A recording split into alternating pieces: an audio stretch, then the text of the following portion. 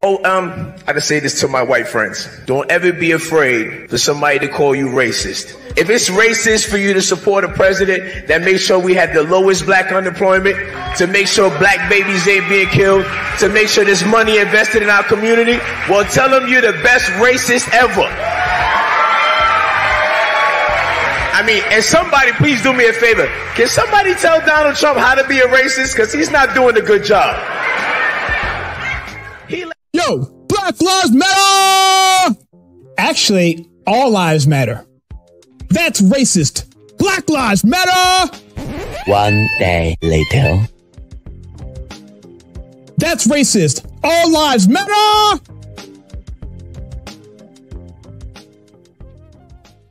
$24 billion here and there, 500 million there. Some people want to be paid back and members of the public are wondering, why are we suffering when you are, you have all of this vast wealth? Those are legitimate concerns. Well, I think you're right about reparations in terms of if people want it though, what they need to do is you always need to go back to the beginning of a supply chain. Where was the beginning of the supply chain? That was in Africa. And when. Ooh, that was an. okay. You study today black culture is trash. Ain't nothing positive about black culture. We're not highlighting spelling bee winners. We don't talk about the newest black business that's doing good. When you go on social media, you look at some of the most trending videos and trending topics. It ain't black empowerment. It ain't uplifting black people. When you look at our movies, we ain't got no black heroes. Black culture has black propaganda. Hitler used propaganda to get the Germans to turn on the Jews. We use propaganda for our culture. We propagate pimps, gangsters, killers, womanizers, robbers, deceit, being unfaithful. We got some propaganda, homie, that's that's brainwashing. I am a pastor. I'm a man of faith. I have a profound reverence for life. Well, I want to save your life. I have to respond to this very quick because he told me Black Lives Matter. And if you think about it, Senator, in Atlanta, Georgia, there's more black baby that is aborted than anything. So if Black Lives Matter, why are you not protecting those babies? And instead of aborting those babies, why are you not baptizing those babies?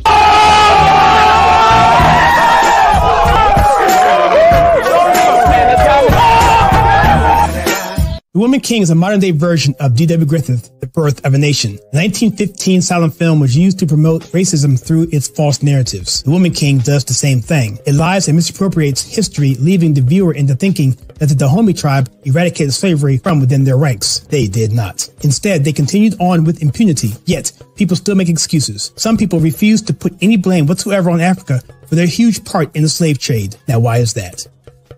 Black Lives Matter! Oh, did you see the new Candace Owens film on BLM? Nah, man, you a sellout. Oh, you mean BLM raising nearly $80 million, but almost zero money going to the black community, building several lavish multi-million dollar properties in affluent all-white neighborhoods, and investing $32 million in Wall Street? You mean that kind of a sellout? Oh man, Black Lives Matter! Despite Root's claim that during the heyday of the massive slave trade from West Africa to America, a white man was more likely to develop malaria in Africa than catch slaves.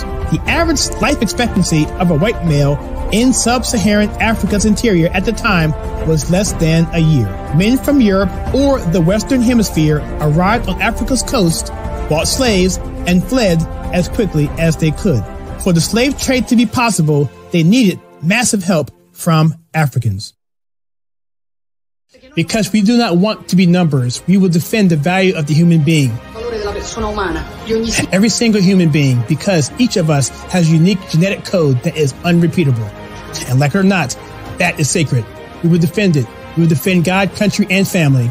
For those things that disgust people so much, we will do it to defend our freedom. Libertad thinking because we will never be slaves and simple consumers at the mercy of financial speculators. Well, I think it's time we ask ourselves if we still know the freedoms that were intended for us by the founding fathers. Not too long ago, two friends of mine were talking to a Cuban refugee, a businessman who had escaped from Castro. And in the midst of his story, one of my friends turned to the other and said, We don't know how lucky we are. And the Cuban stopped and said, How lucky you are. I had some place to escape to. In that sentence, he told us the entire story. If we lose freedom here, there's no place to escape to. This is the last stand on earth. This is what Reagan later meant by we are a shining city on a hill.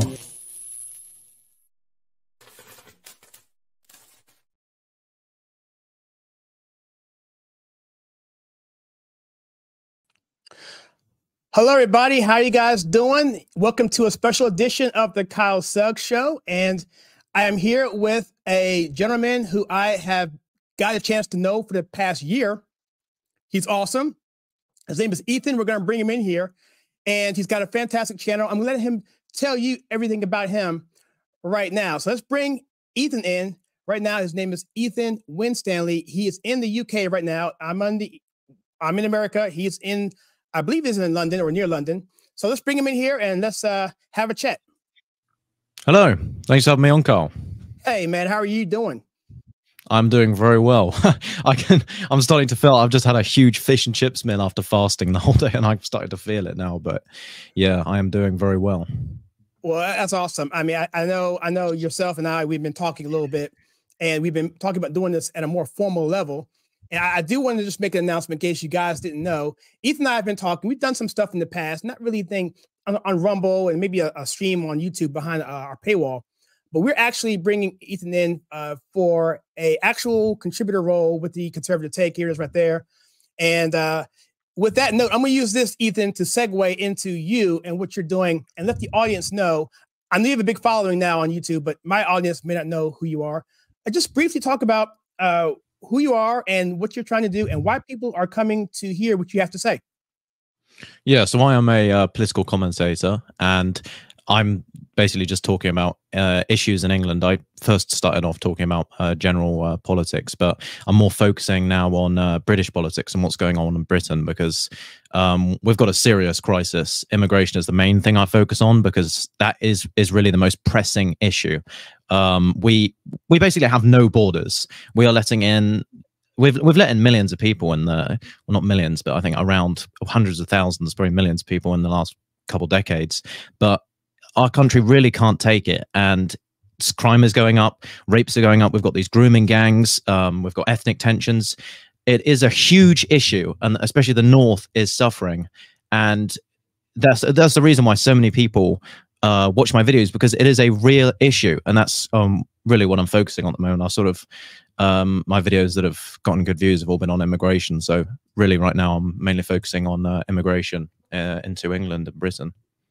Well, it's funny you mentioned immigration because uh, I'm a Trump guy. I've been supporting Trump for the past four years, and, and, actually six years. And one of the reasons why Trump was so popular was because of the policy of immigration and people coming across our southern border, particularly coming across there, and changing our culture um, in a way that is not. Um, what American Western culture is about, and this this actual this live stream is about Western culture, and I don't want it to be misconstrued as it being, okay, where well, we're, we're saying something that we only we want a certain ethnicity to be prominent. No, Western culture goes beyond race and skin color. It goes into values, Christian values, it goes into morals. And I think every country should have the right to form their own particular culture. And to that end, Ethan, would you agree with that? And number two, what makes culture so important? Yeah, uh, uh, that's actually that. Uh, just remind me. That's what I really don't get about ethno-nationalists, people who just want the nation to be predominantly white, um, because they say they would rather a lot of these people would rather have a nation that is filled with white people, even if all those white people have the worst culture and have uh, really unconservative values. Um, that question always seems to stump like those ethno nationalist types. Would you rather a bunch of based black people come and, and live in your country or uh, like a, a, bunch of white liberals? And uh, they seem to struggle with that one. So, yeah, a, a culture is really important because it's very important to have shared values. When you, what's happening in the UK right now is we're letting in all of these people with very different values to us. And for example, Muslims and you, you really can't understand where they're coming from unless you are a Muslim. And it creates a lot of tension because our worldviews are just so different. Uh, in British people are a lot, we value freedom a lot more. And we're letting, we're letting all of these people come to our country who don't like freedom. They actually think freedom is a, a dangerous thing. And I understand the problem with liberalism. And we are suffering right now from this sort of extreme uh, libertarian thinking. But they're very top down uh, a lot of uh, muslims and that is a problem because when your values are so different and you've got all these different cultures it creates tension and that's why it's important to have uh, just overall one sort of culture that that the nation uh, has it's important to have a, a national identity um, which is the sense of, a, of the nation as a cohesive as, as a cohesive whole and you don't you don't really have a, a proper nation anymore when it's just filled with everyone with different cultures. It's hard to even identify it as a nation. Um, and there's been studies on this as well, multiculturalism. Um, when you have multiculturalism, it creates ethnic tension. It's it's like a it's a pretty proven fact, and that's why it's important to just sort of have an overall culture of the nation rather than a multicultural nation. Hundred percent. In fact, uh, since a lot of your viewers are um, from the UK, may not understand America and how we look at it. And it sounds very similar. We have something called a melting pot, which basically means you come from different backgrounds, races, religions, creeds, what have you, but then you actually meld into a culture of, of being American. And that's usually it's loving your country and loving borders. It's it's it's that thing. And so um, multiculturalism is is not what this country was founded on. And it sounds like that's not what your country was founded on either. In fact, you're moving towards that. And I agree. It leads segments and it has sectionalism, sectionalism to the point we have many civil wars across your nation, and it becomes really difficult to maintain that. And um, so, for yourself, uh, Ethan, let me ask. You, um, by the way, let me just jump into here a little bit here. So, everyone here who's on this ch- channel here, if you want to have any questions, please pop them into the uh, the chat. We have people uh, streaming on YouTube and also on Rumble and also on Facebook. If you comment there, um, if you let me know you want to put that post on the uh, on the screen, I can. Only I, only thing I'll say is if you don't want me to do it, put on there, don't play or put a star by it, and I won't throw it up on the screen. Um, also, as we go on, as we get more people on, I am going to have a giveaway. I'll talk about that in a little bit later. Here, we're gonna have a little drawing for those of you on.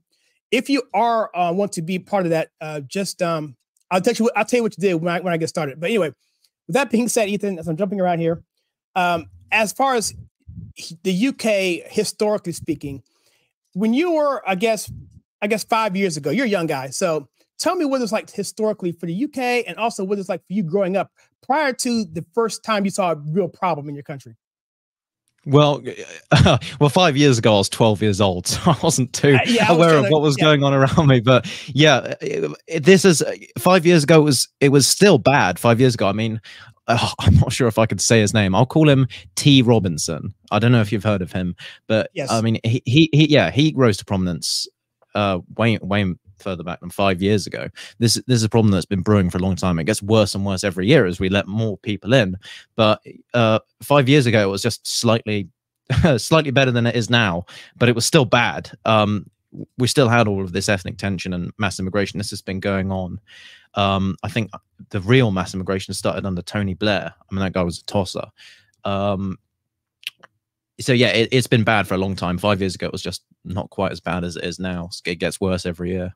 Um, but yeah, it, uh, but historically speaking, yeah, we weren't, um, we haven't been a multicultural nation. This, this people always say, oh, Britain was always diverse, and they make these arguments about um, uh, black kings and stuff. But if you actually look at, uh, if you actually look at the writings of the time, there's about hundred people, hundred black people in London in, in the 1800s, and they try and claim that that England's always been a, a multicultural, diverse country. It hasn't. That's just that's just incorrect. Um, it, it's only recently that we've we've had in the last few decades this huge influx of people. Wow. Yeah. So um, I just put something in the uh, chat there. If you want to be interested in drawing, uh, type in hashtag win, hashtag win. And what that will do is I see people are entering right now. We have uh, two people have done it. And I, uh, let me just let you know what we're going to be giving away here quickly. And we're going to be giving away a, two books, actually. And the first book we're going to give away is this one here called Original Intent, the Courts and Constitution and the Religious of the, and Religion, basically on how this country was founded, America that is. And it's by David Barton from WallBuilders. And uh, it tells, it basically breaks the narratives that the left tries to tell us. And another one we're going to give is for your um, London audience, a UK audience. It's called The Black Joke, the true story of the one ship's battle against the slave trade. A lot of people don't know that, that, that Britain did lost sailors lost lives. And to enforce the trade, um, the trade uh, channels or, the, the trade stream, so that people could not be uh, Black Africans across and doing that. So, what that's part of that as well. But that's not part of this discussion. But I think Ethan, it's important to know that uh, white people have done a lot in, in this world that are as good, but a lot of things that are, are right too in terms of correcting problems. And your country, my country, has done the same thing. So, um, in terms of that, in terms of narrative, uh, what's the narrative that you feel as cropping up in the UK about white people in general, Europeans, colonialism, all that kind of stuff, and and how do we how do we combat that on the streets? Mm. Well, yeah, that's interesting. You, you, said that. I don't know if you saw the comment. There's just been a comment by a guy called TB who said, uh, growing up, even for for him or her, it was the there was an anti-British slash anti-white uh, sentiment in school uh, or sentiment. I don't know if they meant to say sentiment um, which is interesting. I don't know how old that person is. Uh, most of my most of my audience, I think, is over fifty years old. But it it really has been uh, very anti-British views in school for decades now. Um, I, I I mean, I've had history classes. We didn't go over the British Empire too much, but we were we were taught that the British Empire was the one behind slavery. When well, we we weren't taught about the Arab slavery. We weren't taught about the fact that there were black tribes who actually I think I think you made a video on this. Was it the Dakoma tribe or something? The black Dahomey. tribes actually, a lot of them, yeah, Dahomey tribes. They actually had to round the people up for us to take them off and sell them. So they were they were complicit in it as well, helping us. I'm not saying it was good. I'm not saying we, we didn't do wrong there, but it, and there was no teachings about all the infrastructure we built in Africa. The fact that we built train lines and and clocks and schools. Uh, there was no teaching about that what, what I did learn about the British Empire was just the slavery stuff and the fact we started it. So, well, the way to combat that is to actually teach what really happened. And also, you know, focus in on the fact that we, we actually started, um, we actually ended slavery, uh, the British Empire. We fought to end it. We actually had to, um, uh, I think, fight some of these African tribes to stop slavery and we had to we did like a, a, blockade of a port i think i've heard you talk about that to to make sure that slavery wasn't wasn't possible it was the british that stopped it and yet you know we actually need to teach about that because that's the thing I, I didn't get taught about that yeah i think you lost 19000 lives in that process and it was a trade route. mm. i'm trying to think of the name i couldn't think of the word but routes and uh, yeah because the, a lot of people weren't weren't uh, uh adhering to that and England was the first country really to, to push forth the ending of the slave trade. There's a movie called uh, Amazing Grace. I saw that uh, a couple years ago. It's a fantastic story, and it's it's very difficult to happen. When it happened, Britain became the first, and the United States right around the same time. We ratified at the same time. So um, then the Civil War happened, and we had to enforce it through blood, unfortunately. But uh, yeah, I think that whole narrative right there makes me upset. And one of the reasons why I want to focus this channel mainly going forward on the slave trade and on uh, just the the craziness of race baiting of CRT, which is critical race theory, of the 1619 Project, which tells us that white people are inherently racist by design, is absolutely ridiculous. And until we can get that fundamental uh, core at, at the base, this whole house of cards will never come down. Yeah, yeah, that, oh, that's another problem because uh, you also asked about the anti-white. There is an anti-white sem- uh, uh, sen- sentiment in the UK, um, especially in schools. This sort of, I, I, remember a teacher talking about and actually promoting and putting it in a positive way. I'm sure you know about this book, The Why I No Longer Talk to White People About Race. I mean, I, I haven't actually read the book myself, but I do know from seeing reviews of it, it is a Marxist book. It pushes critical theory, it pushes CRT. It, it's a divisive book. And it, eh, there, a lot there eh, is the fact that a lot of teachers actually hold that ideology. That's another problem. This and it leads to anti-whiteness. Um, so that is a huge problem. We need to get CRT out of schools. I know DeSantis is doing a good job in Florida. We're just we're just stamping it out because you can't you can't start to fix things unless you get rid of this critical race theory, which is an inherently anti-white theory. You have to get rid of that. Uh, absolutely. In fact, um, you know, what I, I, get comments all the time in my um, feed saying, "What's the point of this video?" I said, "The point is what you just said. The point is to correct the narrative, because if you're basing everything on the fact that white people are a certain way or black people are a certain way, all of a sudden everything on top of that is going to be substantiated. But but the the, the core issue is wrong.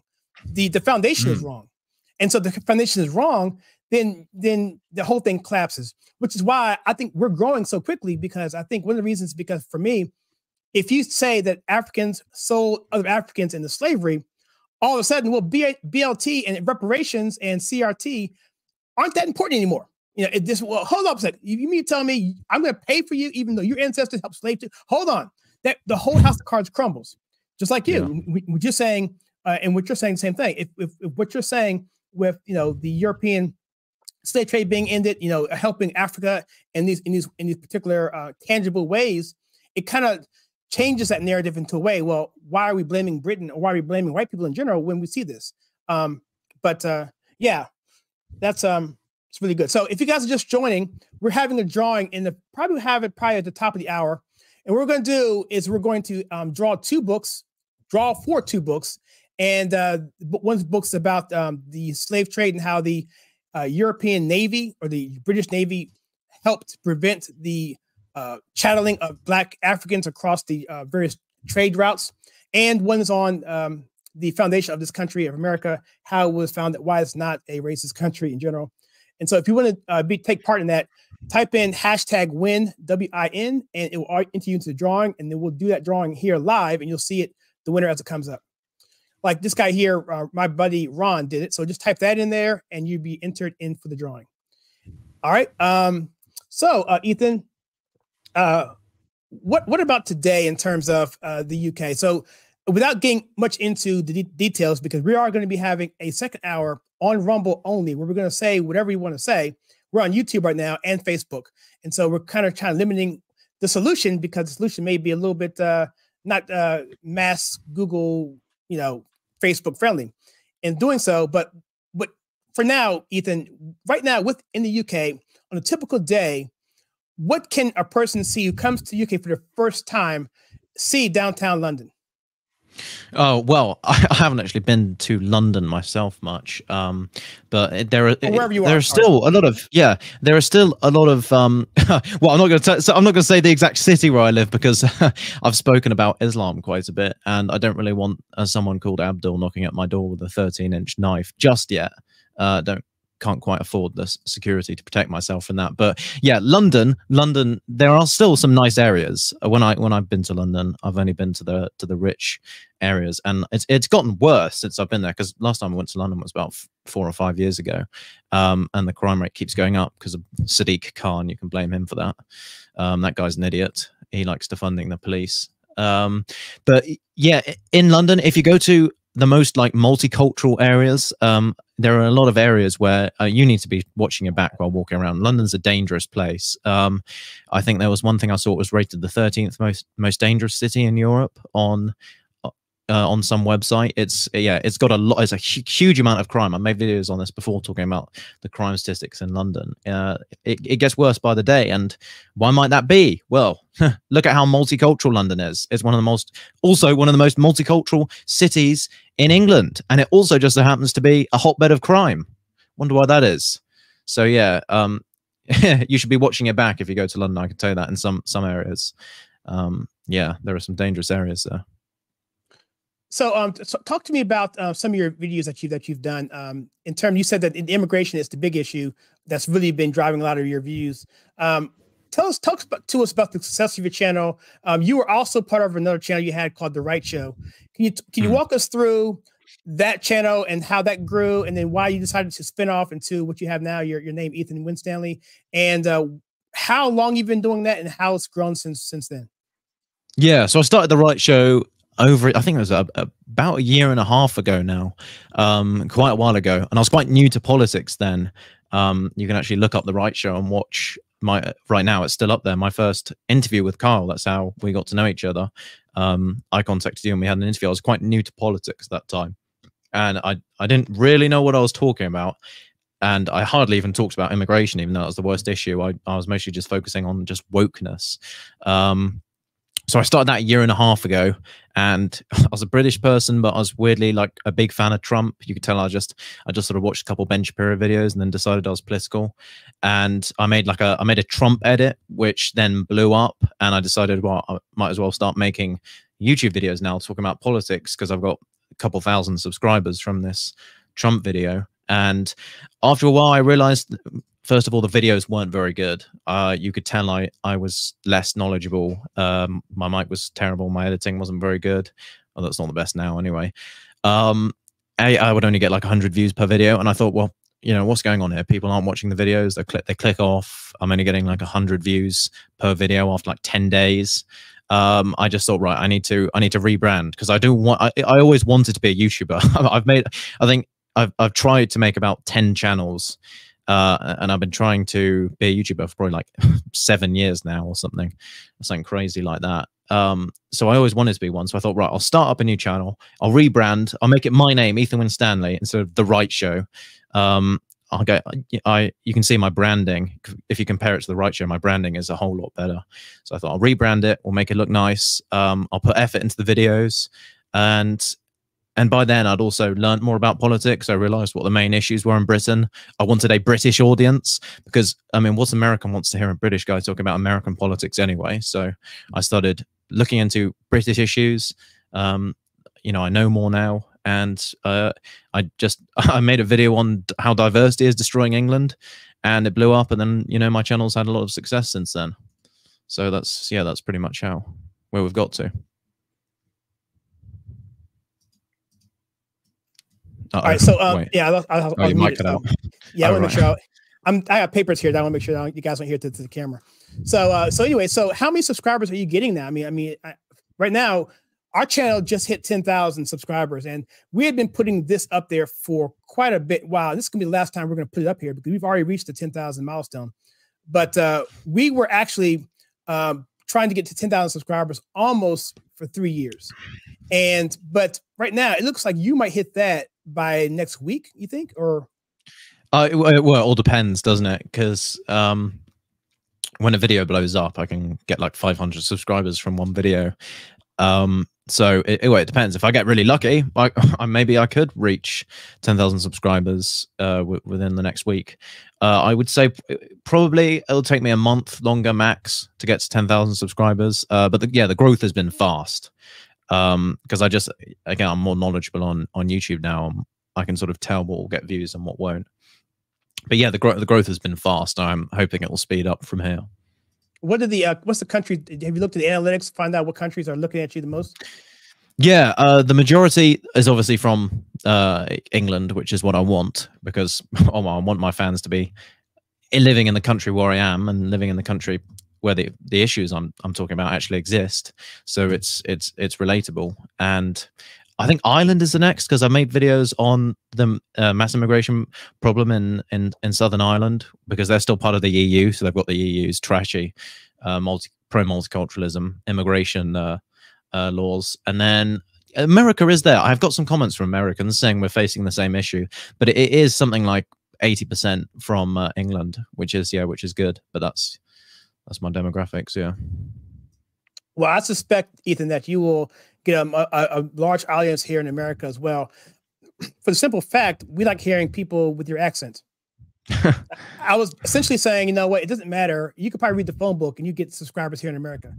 Um, that's just how we Americans are. We love that accent. So, and I think also the fact that you're young and the fact that you have something something to say, I think you're really going to be um, a power force uh, going mm-hmm. forward. So I, I, like the fact that you're getting people in Ireland, getting people um, in in England because that's the, your core. But I think it's going to expand much further for those reasons. So, so yeah. So uh, so let's let's talk a little bit about um, the, the issues that we. This without getting into too much detail. Um, I, I put here. I did a poll, which by the way is, is the biggest poll I've done in terms of the the the worst uh, globalist agenda items, and one of them was immigration. Uh, one of the ones was the uh, LGBTQ, um, uh, I guess, uh, influence, I guess. And then what other other of it was the fact that um, we have uh, Western culture or people actually being told that they can't be from the country that they are, that they must be something else, they must assimilate to something else. And so, um, from your standpoint, Ethan, what do you think about the fact that uh, people are actually not really pushing back on this whole culture thing and the fact that they're just knocking over and just accepting the fact that way the way they grew up was not acceptable and must change. Uh, what, what do you think people are doing? Why do you think people are doing that? And why do you think um, uh, they just won't uh, to fight back? Yeah, it's well, it's quite a scary thing, isn't it? Because we've got to a point where really, if you want to get real change, um, we really need to get leadership change soon. And we, we need to get out there on the streets and force the politicians to step down. The whole system needs changing because all of the politicians are bought and sold. We, we had Keir Starmer, uh, who's the Labour guy. He went, he went over to Davos, so he's now owned by the World Economic Forum. So he's got the exact same agenda as the Conservatives because we've all known they've been the party of the WEF. Um, and so uh, Reform UK, I and UKIP. I am actually a member of of UKIP, but I'm not sure if they are radical enough because we really need to uh, change things and change them strongly. Um, because we need to get CRT out of the schools. We need to you know start having good education we need to get we need to have a, a, a, cultural push a strong cultural push to get rid of degeneracy in our culture because our culture is far too degenerate a lot of radical things have to change. We have to have a lot of fast change as well. It's not something mm. that we can just slowly sort out. And we certainly can't wait until the next general election. That's far too far away because even more damage will be done before then. This is something we need to get sorted out soon. And the reason why people are not willing to to to actually you know be radical enough to get that change is because well people have got to work people have got to eat and really if, if we wanted to get that change people would have to be out there and millions of people would have to just refuse to work and just stop complying completely and have some sort of long-term riot where well not riot but you know protest i think uh, what's his name neil oliver said that you know people should just put all their electricity and appliances on and just refuse to pay the bills you know you'd have to do something radical like that to get change done and that's a scary thing isn't it to to yes. attempt to do yeah was, let's go to some of these comments here um, tb says here he says uh, in every big family we have an evil uncle in the empire, there was an evil uncle doing wrong. I'm not sure what that means. Uh, what do you think that means? Um, uh, in every big family, we have an evil uncle. In the empire, there was the evil uncle doing wrong. I, I have no idea what that means. Um, what does that mean? Well, there was some some evil person in, in charge of the empire or something. I, am going to guess that um, every person. I think of Jack Joe Biden. Um, the reason why he was able to be in, installed in the presidency in America here was because he they were given the perspective of or the perception that he was in, uh, uh like the crazy uncle. You know, every family's got one of them. He's just oh crazy Joe. He's not gonna he's not gonna hurt you. But I think maybe what this guy was saying was that you can't attribute everything on one person, on one king, one queen, one president. I think that's what you're trying to say. Mm. I think. Yeah, maybe. Yeah. Um, I mean, yeah, Joe Biden is like that creepy uncle. Did, did you see that video of him like full on sniffing at, at, some sort of child's back? Like he just shoved his nose into his back and just inhaled. That's the weirdest thing I've seen in, oh, I don't know how long. There's a, literally it, like that creepy uncle. There's a series of videos that, that they people strung together, but and it came out before the election, but no one says, you know, it's, it's that's one of the things about I said before. It's like, why aren't people not seeing what they're seeing what we're seeing and doing the opposite or pushing back some way. They're allowing it to happen, and I think that's the most discouraging thing for me um, that I'm saying. Not just with not just with this, but also with the pandemic, with uh, with everything. Uh, they know it's wrong, but they accept it, and I don't know if that's the culture or if that's something that's being um, just uh, a psyop that's going on or whatever. But since we're still on YouTube, I'm going to keep it a little bit light on that note. But that's that's my thought. What you have a uh, thought on that at all? Yeah, um, uh, we had some sort of connection. I think maybe that was on your end where the screens went grey for a second, but I think we're good now. Yeah, I, I heard most of that. Yeah, uh, what, what, was it you said again? Because you saying, cut out for a second. Okay, what I was saying essentially was that um, there's not peop- my, many people pushing back on on these narratives, oh, yes, yeah. and whether it be uh, the pandemic, whether it be uh, whatever, whatever have have you, they know it's wrong, but they do it anyway. I was wondering, is, do you think it's because uh, they're lazy or because there's a psyop going on uh, in terms of just misinformation that's being orchestrated at a high level, which I don't want to talk about too much here. But um, or is it just um, people just being fearful? I think well, on the conservative side, it's mostly it's it, obviously the lack of action is because of fear. Because well, again, it's a scary thing to want to stand up to the state. The state is a very very powerful entity. You do, you know, there's the fear of getting arrested. I mean, in England, if you post uh, a rainbow swastika, you could end up in a jail cell. You know, making fun of the LGBT authoritarianism, um, and just the fact that you would end up in jail kind of proves the rainbow swastika's point, uh, which is ironic. Um, but there is a fear of that from the conservative side, um, and then on the liberal side, on the on the left, it's just pure indoctrination. We know the the entire media is controlled.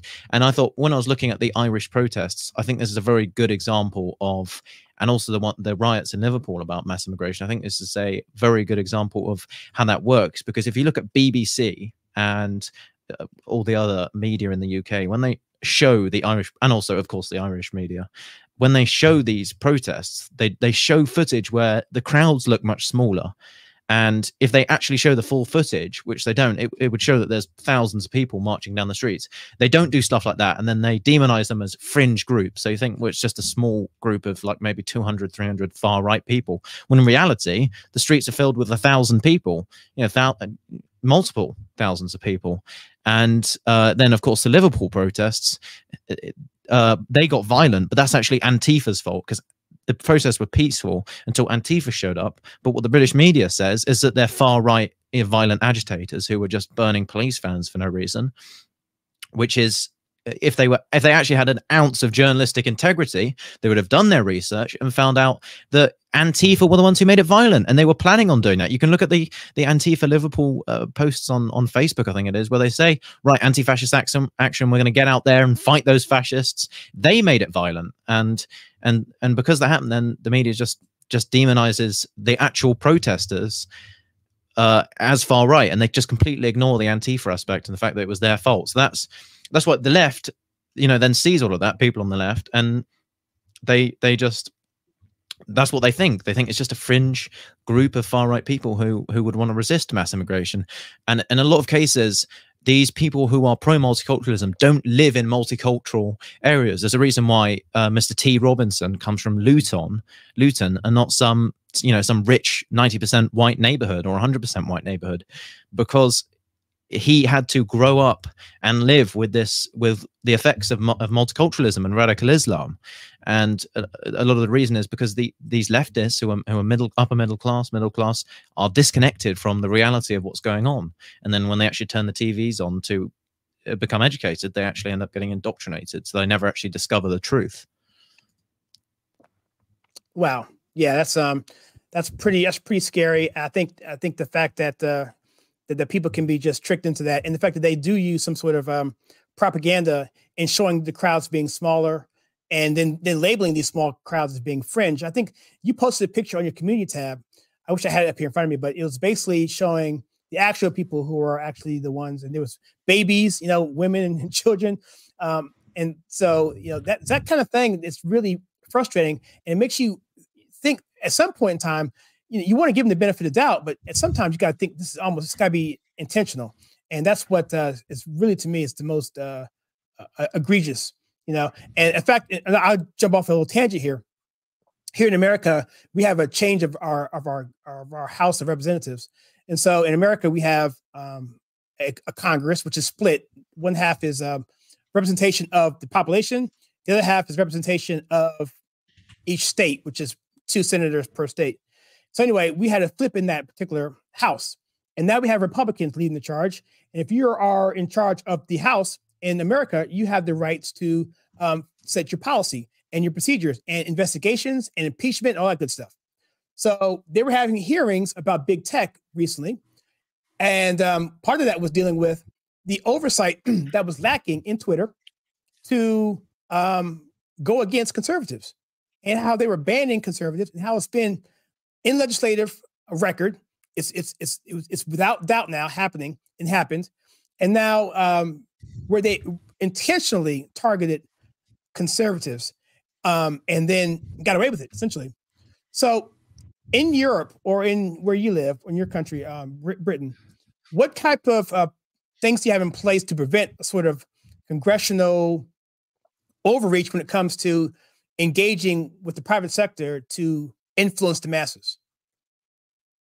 I don't think we do because we had a similar problem where we in, in COVID it's actually been found out that this I think it's the 70, 77th Brigade, which is uh, a part of the army, was in actively monitoring and I think even contacting social media platforms to get people banned, actively monitoring people who even questioned lockdown.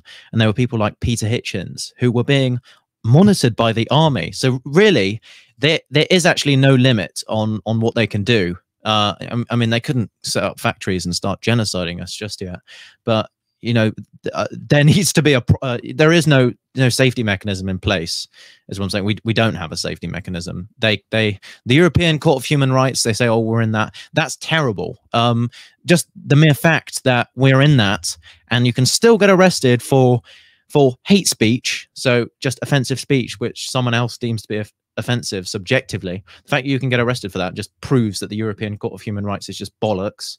And the European Court of Human Rights also prevents us from truly sorting out mass immigration and deporting people. They make it very hard to deport people. And we had this sort of delay with the Rwanda flights. Um, and that's thanks to to things like that. So really, yeah, we don't we don't have uh, good limits, and there needs to be some sort of uh, proper constitution drawn up, which you know lines out, puts out our rights and uh, prevents the government from overstepping that. So it, we're in a, a, pretty similar situation to the US, um, except in a lot of areas worse, I would say. Well, you say worse in some ways, and I don't want to be totally down uh, depressing here to uh, my people here in America. And I, as older older I get, the more cynical I get. And on the surface, America seems to have all these checks and balances. Oh, sure, you know, the Congress can do this, but then the president can do this, and then the Congress can override the president, and then you have then you have um, you know the states can do this, but then you can have the federal government can do that. There's always a check against something else. The Supreme Court can do something else, but then the Congress can check the Supreme Court. But at the end of the day, um, what we're finding here in America is there is none of that. It's on it's on it's on paper, but it's not being enforced. And so what you guys have is a hard reality that it, that it probably won't change. We have a false reality that it might change. so I don't know which is worse, you know. Um, and that's kind of depressing to say that. However, um, but uh, you mentioned Tony Blair. Let me get into him a little bit because uh, at the time I was a pro Tony Blair guy. I was also a pro Bush guy, W guy. Um, I was very much into the Republican Party from the very early beginnings. I was I would be considered a globalist back then. I didn't know any better. I was look. I just thought the Democrats were just the worst thing ever, which I still think is the worst thing ever. Um, but I realized that there's a party within the Republican Party, our conservative party, that is still part of that Democrat Party. So um, talk to me about Tony Blair because where was I wrong about him back in 2004, maybe before that? What what what was he doing that uh, I should have been concerned about back then? Well, Blair, he's a very suspicious guy. Um, and just the fact that he was at the latest Davos World Economic Forum conference. Should to anyone who doesn't know a thing about Tony Blair, and I'm not, you know, I don't know a huge amount about him, but I do know he was the one that started this uncontrolled mass immigration. His immigration policy was terrible. Um, he just let all these people in. Uh, the guy is somehow worth hundreds of millions. He's an extremely rich guy, and it's quite there's there's shady circumstances to how he got that money he was on the he's he's on the Epstein he's on the Epstein list. He's he was on the Epstein jet. There's proof of that. Um, so he's he's up there with the elites. So he, uh, and why on earth would he be at Davos? Uh, that's the really interesting thing. The fact that he's still giving speeches at the WEF, and he said he was talking about some sort of uh, way of monitoring people again, just more totalitarianism. Um, uh, it, yeah, he, there's some odd circumstances around him. He's clearly one of the elites. He's he's an elitist. He's in with these these top globalists. He's worth hundreds of millions. Um, and he was not put there to serve the people. He was put there to start this globalist agenda um, of er eroding our national identity. And his immigration policy reflected that because he just let hundreds of thousands of people just stream into our country. One thing I did enjoy about Tony Blair was more of a superficial thing was when he was dealing with Parliament, and he would just take him down using his. his he was a really good speaker, and uh, I he, I did enjoy watching those those sessions in Parliament. Um, but that's kind of disheartening. But, but, it fits right in. It fits right in with everything else we're seeing. We're seeing a swamp or a, a, a section of Congress or government that is unelected, and then and they're nefarious in their objectives in terms of them trying to uh, obfuscate or try to override the will of the people. And that's what's happening. You have these oligarchs that are really controlling a lot of these things. And I think a lot of Americans are coming to grips with this now after the frustration that what happened in past election cycles. I can't talk about here on Facebook, on, on YouTube or Facebook, um, but uh, you know what I mean. And now people are saying, you know what, my, my whole worldview is, of uh, this country has changed, although the foundations are still there to make things better. And on that note, I have this hashtag up here, guys. If you want to type hashtag win, we're going to auction off, not auction off, we're going to give away um, live here on the screen. I hit draw and you'll see it flip through and they'll actually choose a winner. And after I do that, I'm going to um, uh, send this book out to the winner. And this book, there's two of them actually. We're going to probably do one for now. We'll see what happens. But the first book I'll give, maybe I'll give you the choice. Tell you what, if you win, you, you, it's your choice of which book you want. How about that? Uh, the first book would be it's called Original Intent. It's by uh, David Barton of WallBuilders. It's uh, the courts, the Constitution, and the religion, and that's about this country and how it's foundational in terms of uh, our framework, in terms of uh, individual rights created by God, Christianity, the Bible, all that stuff that you don't hear about in school. And the other book would be this one here called The Black Joke: The True Story of One Ship's Battle Against the Slave Trade. It's about the UK Navy. This particular uh, boat uh, was the best one in terms of freeing Black Africans from bondage. So we'll do that in about 10 minutes here. And if you want to enter into that drawing, go ahead and do the hashtag um, win, and uh, we'll do that in a few minutes. So, um, Ethan, uh, so also talk to me a little bit about um, about uh, what your aspirations are for your channel do you do you want to uh, expand or do you want to make a more single uh, entity yourself um, do you have any other ideas that you're willing to say at this moment in terms of um, uh, influence that you have on social media yeah so i always want to be independent if some you know big organization approaches me like I don't know, some British version of the Daily Wire, and they say, you want you be part of us here's a contract i'd say no i'm not doing that i want to be as independent as possible only really answerable to myself and of course maybe the platforms that i'm on and eventually i want to try and build up uh, some sort of uh, way of having a site where i can just be fully uncensored and i've got i'm able to do live streams on there and uh, i've got all of that but i don't want to have some big corporate organization i don't want to work for for that like um uh, I'm very sympathetic of Steven Crowder's uh, views with the the whole Daily Wire. I'm, my fans probably don't know about this, but uh, I'm very sympathetic to to his viewpoint with the whole Daily Wire thing. Um, I, I want to remain independent, and of, of course, I want to expand my audience. At some point, I'm I want to try and move to uh, uh, the US maybe probably the US uh, because you, you you have free speech is a lot safer there. Um, once I'm able to afford it, I'm going to look into uh, getting a green card there uh, because the, the UK is a dangerous place. And people like me, if the UK government gets fed up with you, especially since I'm talking about the immigration issue, less about LGBT degeneracy, although I will also be talking about that uh, uh, uh, more, you can very quickly become an enemy of the state, especially when you start doing on the ground stuff. I want to start doing that as well. And that that that's where it gets dangerous because the UK it, it's a lot they mess you around a lot more. The government. I'm not. I, I don't think it's quite the same in the US. It's got a lot more freedom. on the fact that someone like uh, Fuentes is is uh, really going around free, uh, whereas uh, you know you know what happened to T. Robinson. I think. Um, yes, I, I don't do. know if you do. Yeah, I do, became an enemy yeah. of the state. I, I don't want that. Yeah, I, I really don't want that. So although I'm going to be doing different things to him, I'm not uh, you know, he he's a bit more of an aggressive guy. He was uh, he made some mistakes. He punched some people that he shouldn't have. So he did get himself in trouble. But really, the UK government tried as hard as possible to to destroy his life. I, I, I don't want that. So obviously, I was I'll still be speaking to my British audience. I post my videos at, at times, which is is good for them.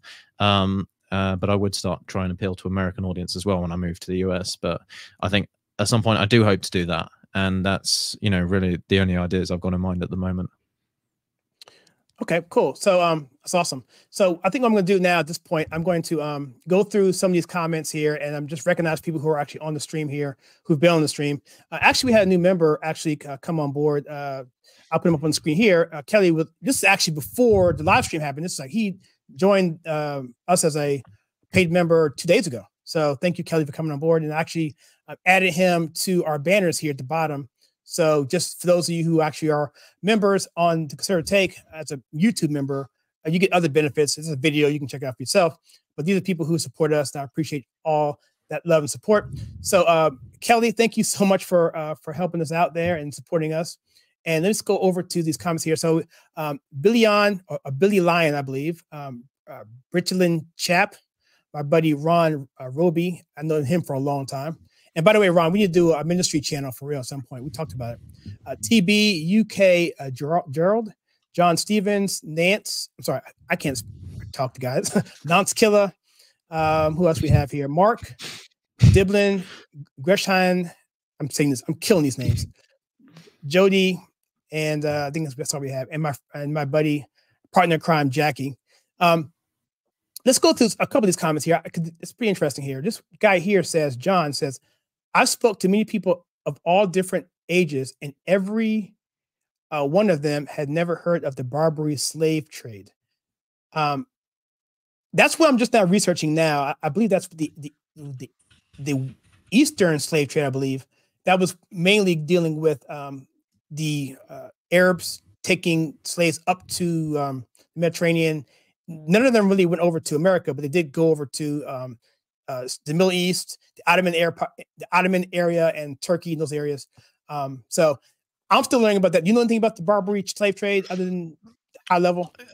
I've heard about the uh, Barbary slave trade before. I think I've even heard. Was that you that I heard talk about that? I've, I've also I'm not sure if is that got anything to do with the Barbary pirates that would go to the Italian coast because I've been to Italy before. I've seen the their their pirate watchtowers there. Was that anything to do with that?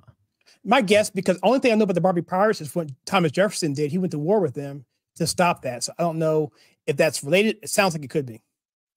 Mm, yeah. Um, yeah. Uh, so um, Jackie says here, Kisin gave a great speech at Oxford, but had a very bizarre conversation with the Viva Frei, which where he is adamantly pro supporting Ukraine against Russia. Uh, Kisin, did he say? Yeah, I'm not sure what that is. I, uh, I was that reference to the the guy who was on the. Uh, I think I heard I saw some people talking about Triggernometry.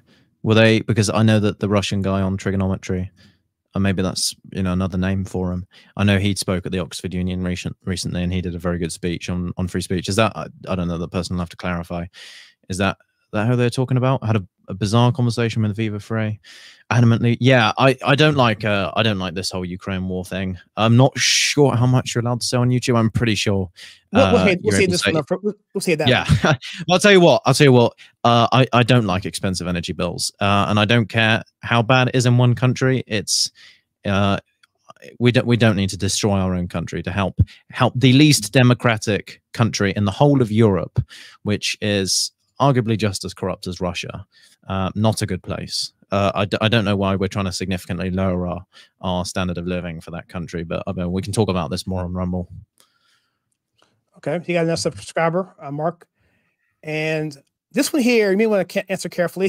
so, how do we move forward? Should we have segregation in England, countries within countries with mobility, high dense Muslim Indian population? I uh, keep.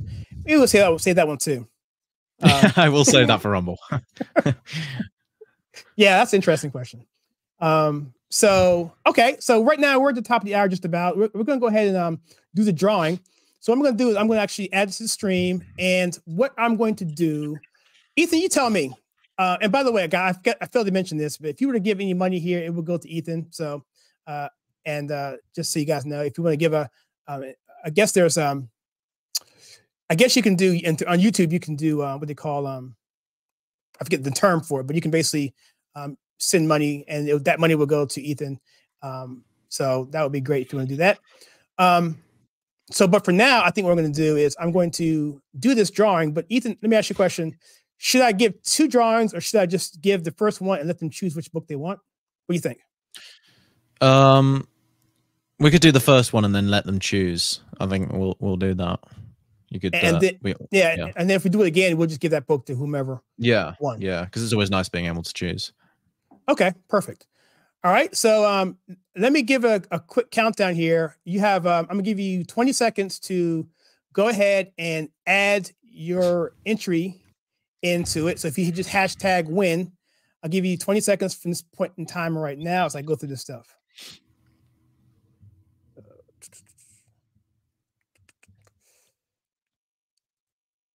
some good comments here, Ethan.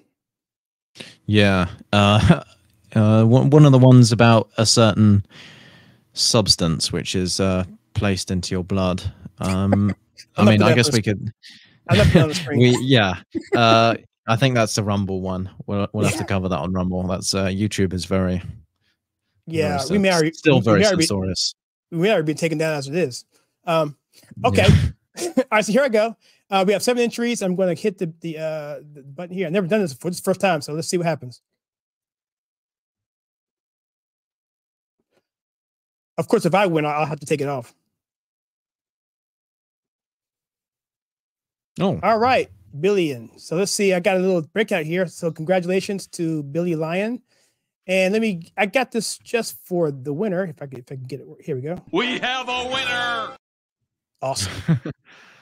So, Billy, what you can do, um, you can do one of two things. You can um, send me a private message here. If you're on YouTube or Facebook, you can't, or send an email to uh, to um, Kyle at theconservativetake.com, Kyle at theconservativetake.com, or on or even on um, YouTube, you can send an email there. If you go to the YouTube channel on the About page, our email address is there, and uh, we'll let you know how to get that to you because if you want to do a PO box, we can do that as well. So I don't care. It's going to come from Amazon. It doesn't matter.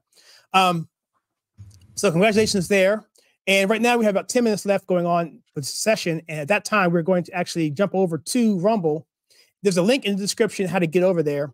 And from there, we're going to talk for another hour, basically what we, what we want, and uh, get some of these questions answered in a way that I think is going to be uh, uh, constructive and helpful because right now, if you do that on YouTube, you will be taken down. Um, let me see if I have any more comments here. Do you have anything right now that you want to bring up Why? I uh, what was this? Uh, Kisin, not kissing.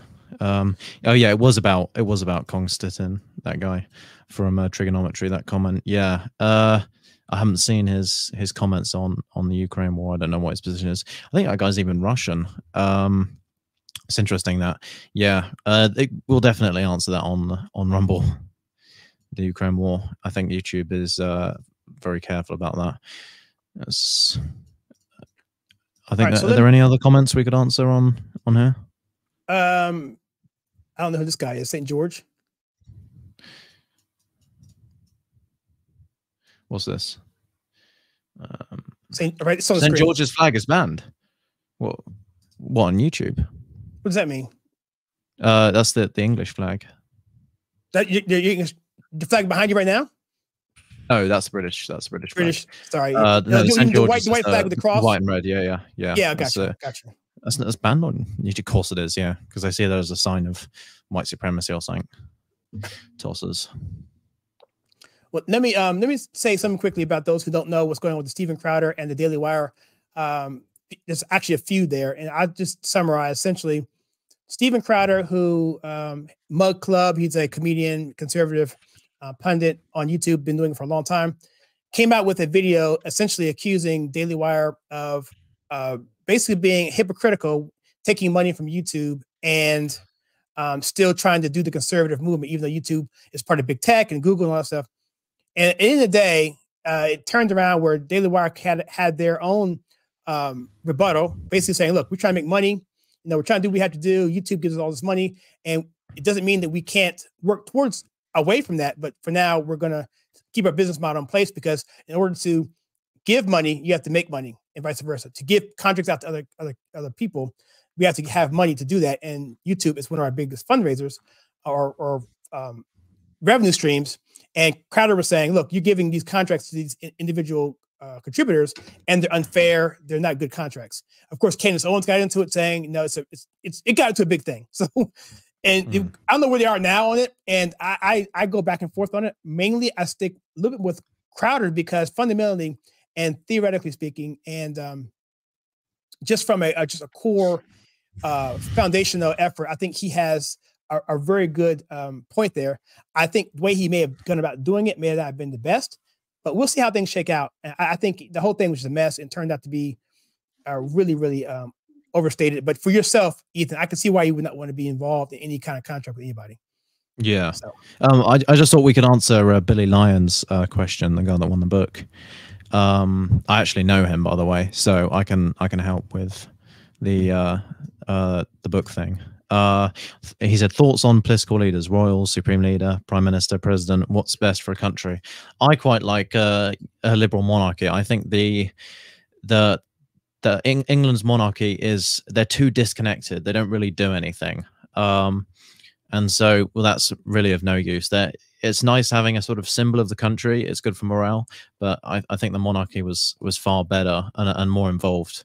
You know, a couple hundred years, maybe 100, 150 years ago uh, in the time of the king, the monarchy was a lot better. I think now, especially with the death of the queen, and now we've got Mr. Globalist Charles, who helped to start the Great Reset. He literally came up with that agenda with Klaus. Uh, really, I, I don't like our current monarchy, and I can't I can't see it being of any use in the future. And I think they're all compromised. I think the Queen was the last good monarch who who wasn't part of this globalist elite and she, maybe she even picked up on that and she wasn't too fond of what was going on but realized she couldn't really do anything i don't like charles at all i can't stand charles uh, the guy he, he's actively trying to spread islam in the uk um, again he's a globalist uh, so yeah our monarchy right now is terrible but ideally yeah a liberal monarchy i like i like the idea of so this guy larry uh, he wants biden in 2024 which uh, it's interesting because biden actually has his um, on record as saying that his mentor it happens to be a Ku Klux Klan Grand Kleagle. So there he supports uh, Biden for 2024, who has his who has his uh, mentor, personal mentor, as a Ku Klux Klan Grand Kleagle. Kleagle. So, all right, so cool. That's there's that. So make sure we. Uh, so yeah, go Biden. Um, uh, England. Yeah, well, that's no, that's another. We had a whole we had a whole show on um, on the Queen and her her passing. I was with Kira Bobby on that one, and I, I sent you a, a letter of, of, condolences on that because I was I was shocked at how that affected me.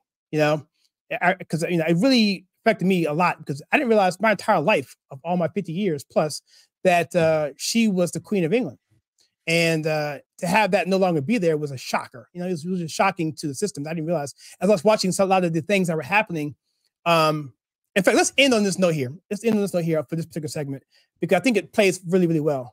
Um, and thank you for that uh, statement there, Blues Adventures.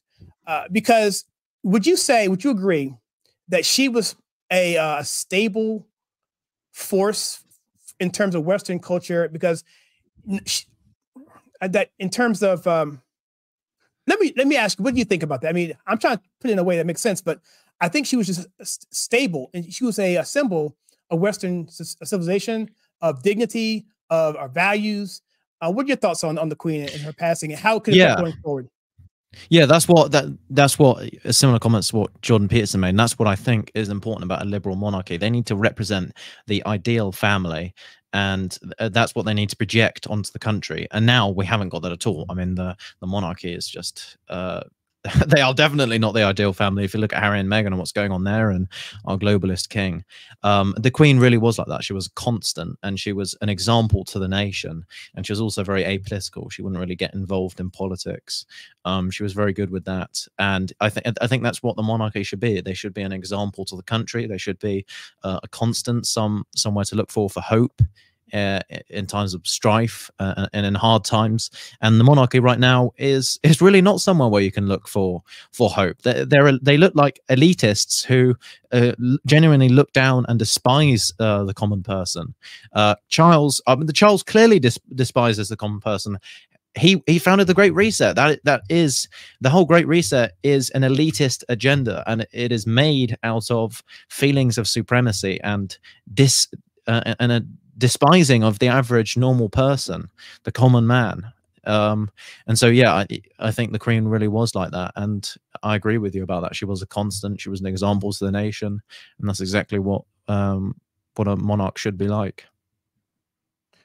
Okay, so let me uh, before we end the stream here, we're about to end it. Um, there's one thing you need to know because Rumble set up, it's not directly tied in with StreamYard.